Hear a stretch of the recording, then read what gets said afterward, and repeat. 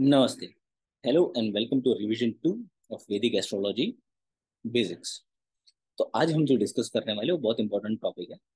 हम एक north Indian style कुंडली को किस प्रकार से पढ़ा जाता है, उस पर हम रिवीजन करने वाले हैं। मेन मोटिव अपना वो रहेगा। काफ़ी शॉर्ट वीडियो रहेगा, लेकिन डिटेल में आपके सारे क्वेरीज क्लियर हो जाएँगे।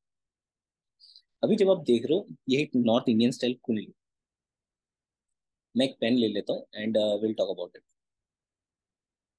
इसे पढ़ा किस प्रकार से जाता है? एक नॉर्थ इंडियन स्टाइल कुंडली को जब भी पढ़ना है, आप इसे एंटी क्लॉकवाइज पढ़ोगे। ठीक है? मतलब ये है आपका लग्न, जिसे हम कहते हैं एसेंडेंट अगर यहाँ पे राशि है दूसरी तो यहाँ पे उसके दूसरे भाव में आएगी तीसरी राशि, फिर चौथी राशि, पांचवी राशि एंड सो एक नॉर्थ इंडियन स्टाइल कुंडली में भाव जो होते हैं वो फिक्स होते हैं। मतलब ये है प्रथम भाव ये है द्वितीय भाव, तृतीय भाव, चतुर्थ भाव, पंचम भाव, षष्ठम भाव, सप्तम भाव, अष्टम भाव, नवम भाव, दशम भाव, एकादश भाव और द्वादश भाव विच इज़ ट्वेल्थ हाउस ये अभी हो रही है हमारी हाउसेस की बात। ठीक है? House H O U S E house रही हाउसेस की बात। हाउस पता होना क्यों ज़रूरी है या फिर हाउसेस होते क्या है? अगर किसी व्यक्ति ने आके आपसे पूछा कि मेरा करियर कैसा रहेगा या मेरा मैरिज कैसा रहेगा तो आप मैरिज के लिए देखोगे सेवेंथ हाउस करियर के लिए देखोगे fifth house tenth house sorry marriage के लिए will see the seventh house and for career will see the tenth house तो टेंथ हाउस में उसके बाद आप देखोगे कि कौन सी राशि है? यहाँ पे आप देखोगे कि कौन सी राशि है? वापस उसी में एग्ज़ाम्पल लेते हैं। दूसरी राशि अगर इधर है, ठीक है? तो यहाँ पे आएगी एथ साइन देखिए आप, तीन, चार, पाँच छ सात, आठ।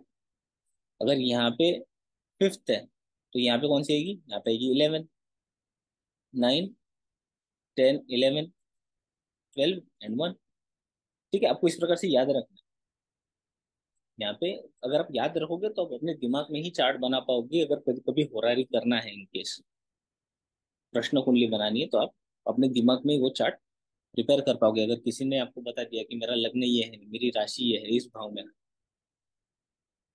अभी जो प्रथम ये तो भाव ये जो ये अभी राशि की बात होगी भाव तो इसके फिक्स है कि ये तो फ़र्स्ट हाउस ही है। ये फ़र्स्ट हाउस है। ठीक है?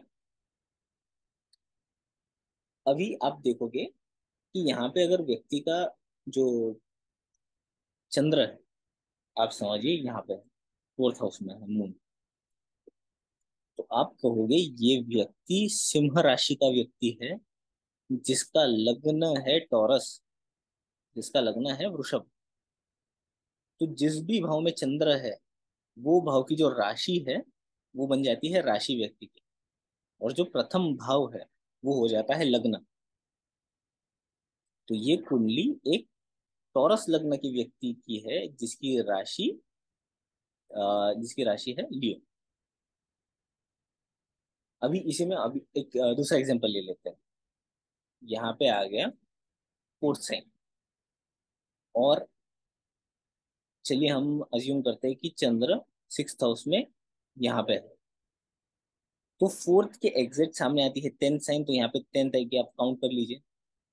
यहाँ पे आ गया five six seven eight nine ten व्यक्ति का राशि क्या हो गया? व्यक्ति का राशि हो गया धनु, क्योंकि चंद्र धनु के इसमें है, और लग्न हो गया कर ठीक है? चलिए तो अभी थोड़े से नोट्स लिख लेते हैं। जो पहला पॉइंट है कि in a North Indian style chart.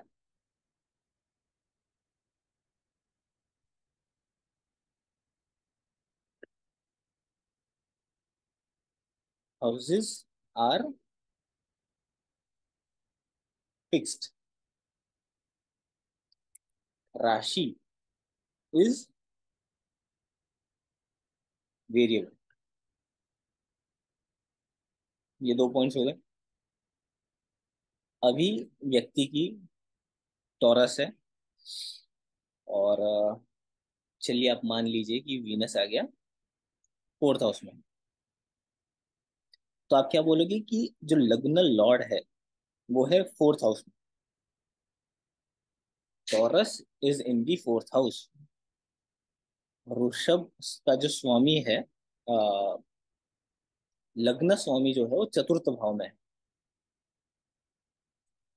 लग्न स्वामी सो लॉर्ड ऑफ़ दी लग्न और lord of the first house is in the fourth house right so इससे हमें क्या पता चलता है कि जो प्लैनेट्स है वो भी वेरिएबल है। Placement of planets planets is variable as well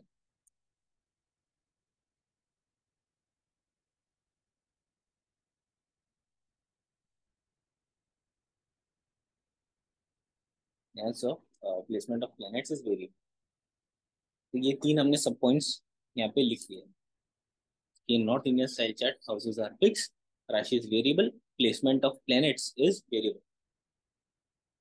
इसे पढ़ना कैसे वो मैं आपको uh, बता देता हूँ फिर से।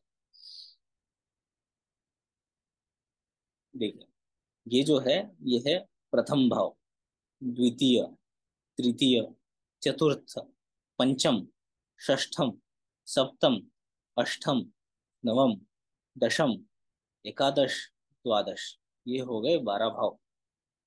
फिर, यदि व्यक्ति का लग्न है मिथुन तो आप बोलोगे यह एक मिथुन लग्न का व्यक्ति है। ठीक है? यदि व्यक्ति का मिथुन लग्न में ही व्यक्ति का चंद्र है तो आप बोलोगे मिथुन लग्न मिथुन लग्न एवं मिथुन राशि का व्यक्ति है। अगर फॉर एग्ज़ाम्पल आप अज्यूम कीजिए कि चंद्र यहाँ पे है मून इधर आ गया तो आप कहोगे मिथुन लग्न और कर्क राशि का व्यक्ति है।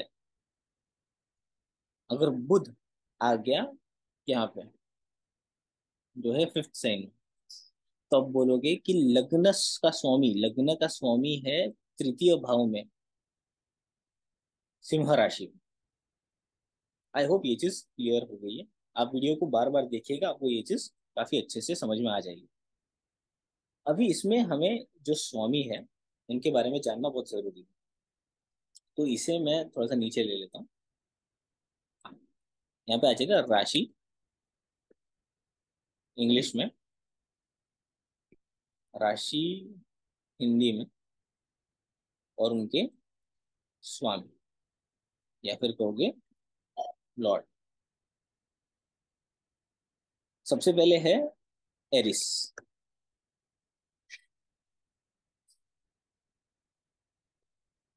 टॉरस जेमिनाई ये पहली, दूसरी, तीसरी, चौथी. कैंसर फिर आती है लियो वर्गो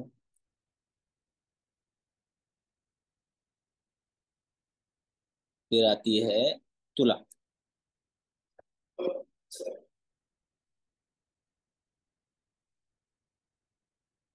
स्कॉर्पियो नाइन्थ है सीजिटीरियस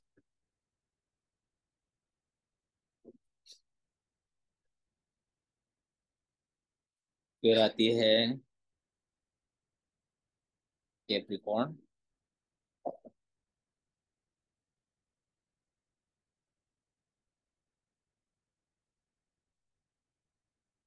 एक्वेरियस पाइसिस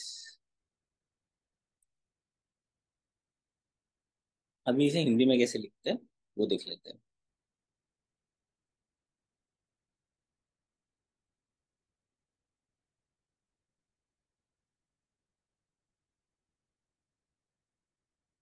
मेष। मेष। वृषभ। मिथुन कर सिंह कन्या तुला वृश्चिक धनु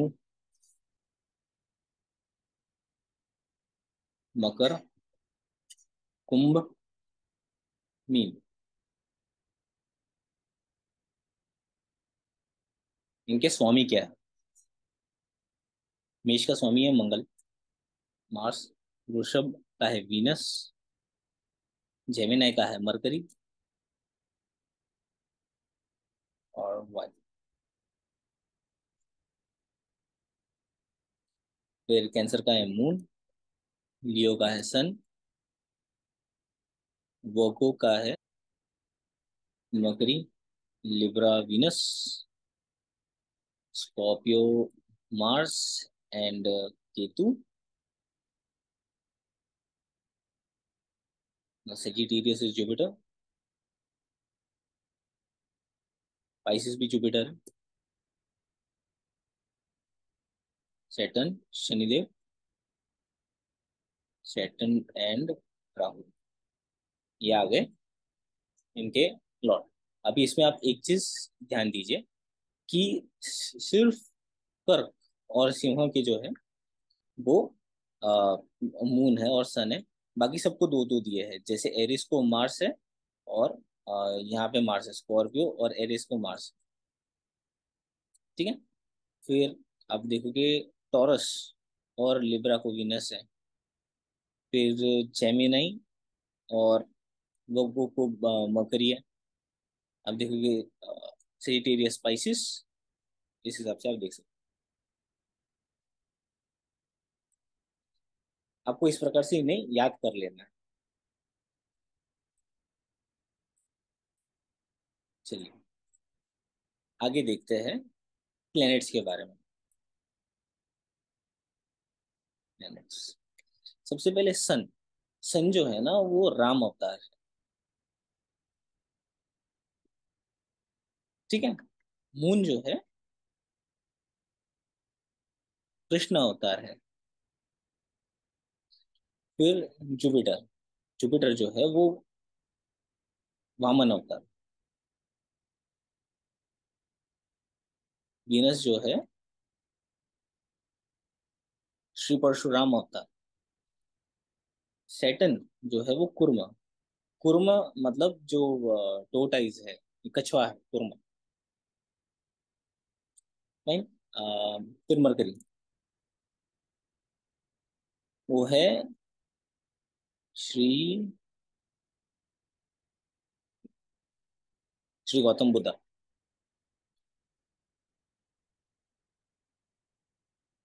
राहु। वराह अवतार। केतु है मीन, या फिर मत्स्य अवतार। ये प्लैनेट्स और उनके अवतार हैं। अभी जो सन का प्लेसमेंट है पूरे प्लेनेटरी कैबिनेट में वो है किंग का। क्वीन का है मून का है वो क्वीन जुपिटर मिनिस्टर वीनस भी मिनिस्टर क्योंकि इन्हें कहा जाता है देव गुरु और यह दैत्य गुरु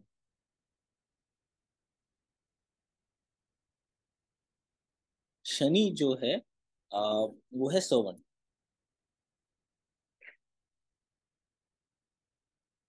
ठीक है? बुध जो है प्रिंस राहु और केतु, ये दोनों है आउटकास्ट इसमें एक चीज़ जाननी है कि Rahu is only head and Ketu is only body Rahu and Ketu both are nodes ठीक है? अगर आप वो फिजिकली प्रेजेंट नहीं है। उन्हें हम कहते हैं नोड्स जो चंद्र के इर्द गिर्द रहते हैं। तो चंद्र के दो नोड्स है। जब मैं राहु केतु पे एक डिटेल्ड वीडियो बनाऊँगा, उसमें हम डिस्कस करेंगे कि किस प्रकार से राहु केतु नोड्स है। और दो ऐसे प्लैनेट्स है, गुलिका और मांडी। इनके बारे में आपको इंफॉर्मेशन ऑनलाइन नहीं मिलेगी। उस विषय में भी एक डिटेल्ड हम चर्चा करने वाले एक स्पेशल वीडियो में। कि वो किसके पुत्र है? उनके होने का क्यों इम्पोर्टेंस क्या है उनके होने का? उस संदर्भ में। जो नेक्स्ट वीडियो है, उस नेक्स्ट वीडियो में हम देखने वाले हैं भाव के बारे में।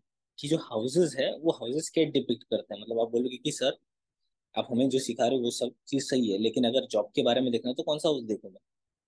है ना? खुद के बारे में देखना है हेल्थ के बारे में देखना है पेट्स के बारे में देखना है। बच्चों के संदर्भ में देखना है हायर एजुकेशन मेरा वेल्थ इनकम कैसे रहेगा? ये सारी चीज़ें हम इन डिटेल नेक्स्ट वीडियो में डिस्कस करेंगे। और मैं पॉसिबली सिर्फ़ एक हाउस पे एक वीडियो बनाऊँगा, जैसे जो फ़र्स्ट हाउस है, वो क्या चीज़ रिप्रेजेंट करता है और उसे किस हिसाब से देखना चाहिए।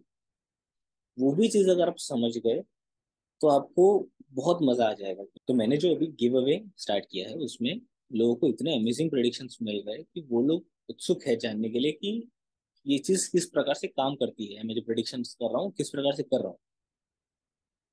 तो उस पर एक डिटेल वीडियो रहेगा कि आप सिर्फ़ बेसिक्स समझ लो, आप बेसिक्स कर लो, अच्छे से आपको प्रिडिक्शन आ जाएगा।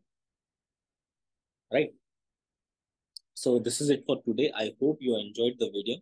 Thank you for your time. Hare krishna.